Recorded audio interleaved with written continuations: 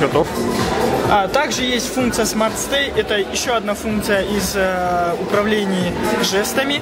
Э, подразумевается под собой, то есть фронтальная камера фиксирует ваше лицо, ваши глаза. И в тот момент, когда вы будете пролистывать интернет-статьи, например, вы смотрите прямо на экран, вам не надо касаться вторым, вторым пальцем, чтобы пролистывать вверх-вниз. Вам достаточно наклонять смартфон в нужном направлении и будет пролистываться данная страничка в интернете.